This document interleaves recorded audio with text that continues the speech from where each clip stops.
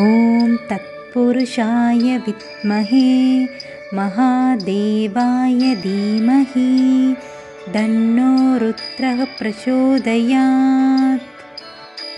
ॐ सदाशिवविद्महे जडातराय धीमहि दन्नो रुद्रः प्रचोदयात्। ॐ पञ्चवक्त्राय विद्महे अधिसुत्ताय धीमहि दन्नो रुद्रः प्रचोदयात् ॐ गौरीनादाय विद्महे सताशिवाय धीमहि दन्नो शिवः प्रचोदयात् ॐ शिवोत्तमाय विद्महे महोत्तमाय धीमहि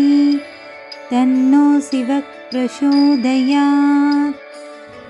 ॐ तन्महेशाय विद्महे